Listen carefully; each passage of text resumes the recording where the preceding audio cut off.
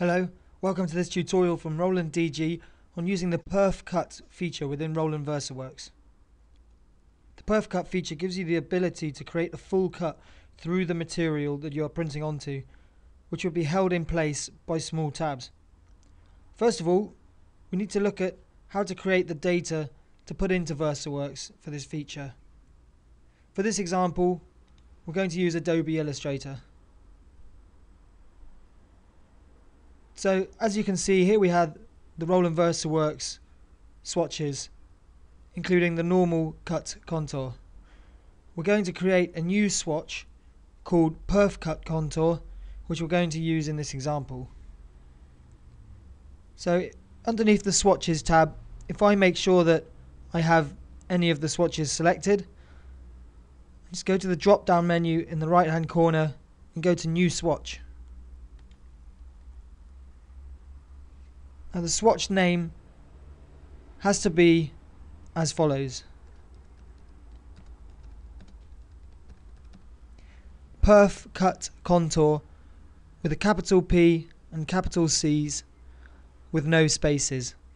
This is so that VersaWorks will recognize the information when exported. The color type we need to change from a process color down to a spot color. And the color that we choose is just an on-screen representation for the information that we make. For this example, I'm going to create green. Now that I've created my swatch, you can see that it appears here in my swatches panel.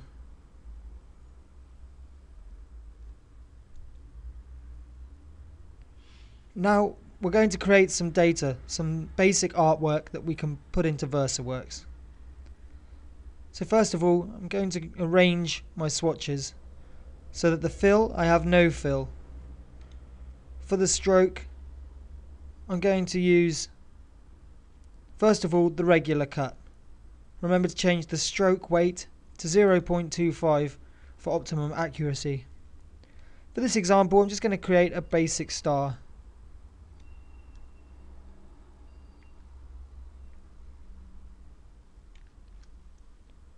So here we have what will be the inner cut of my artwork. Next, I'm going to copy this star. So Control C. I'm going to paste it in place in front. Control F. Now expand this to make it bigger.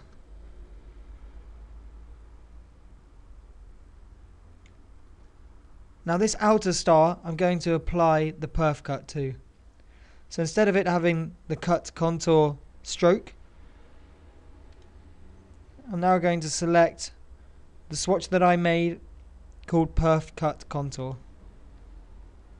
Again, make sure that the stroke weight is 0.25 points.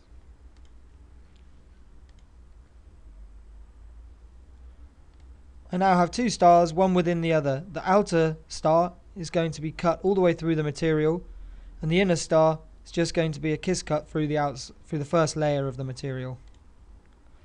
So if I save this to my desktop, and I'm going to call it perf as an EPS, you can save it as an EPS or a PDF.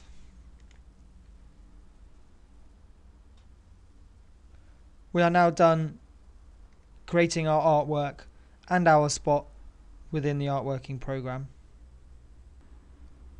The next step will be to open this artwork into VersaWorks so we can change the settings for the perf cut.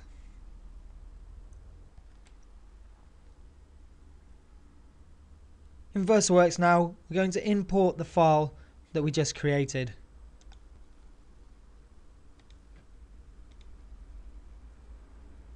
First thing that you'll notice when you import the job is underneath the special items here, we have the blue A that represents the normal cut.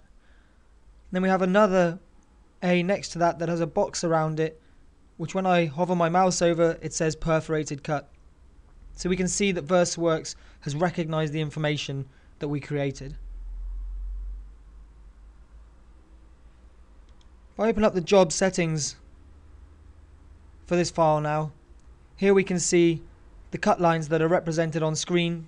The inner cut line represented by a red dashed line and our new perf cut line around the outside represented by a grey dashed line. We can now set up the file as we would normally. Change the scale, anything else that we wish to change.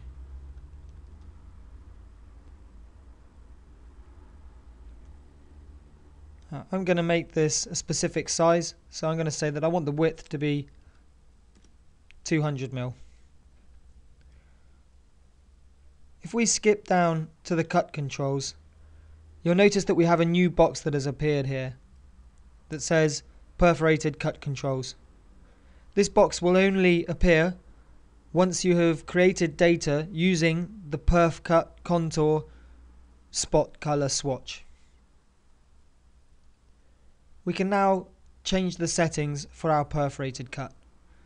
So first of all, the inner cut line, the red swatch, will be created using the normal cut settings, which can either be set in VersaWorks here, using the Enable Advanced Settings feature, or on the machine manually within the menus.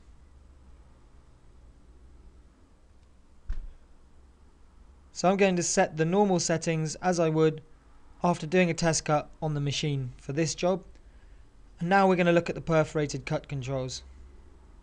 So first of all we have the normal pressure length.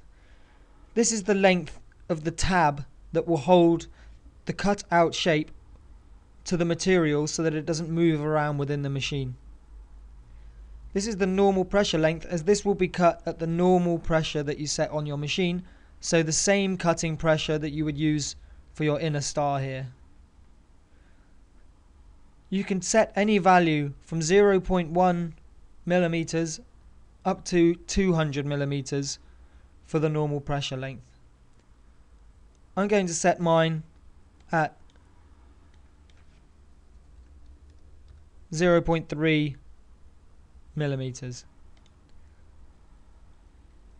The perforated length is going to be the length that the machine will do a full cut through the material.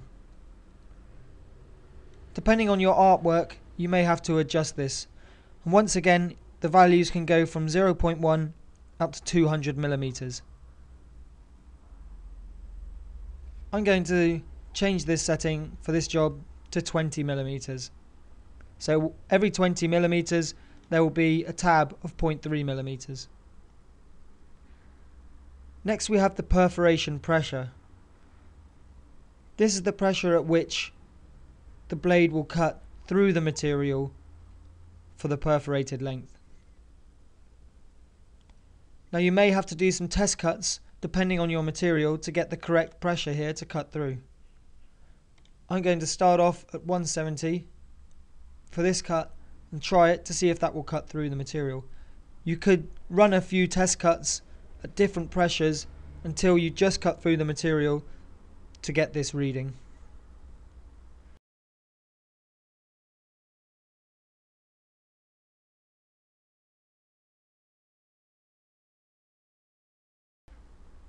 So when we run this job, we're going to have a cut that's going to go through our material, say our vinyl, and the backing sheet around the outside, and then a smaller cut just through the vinyl on the inside.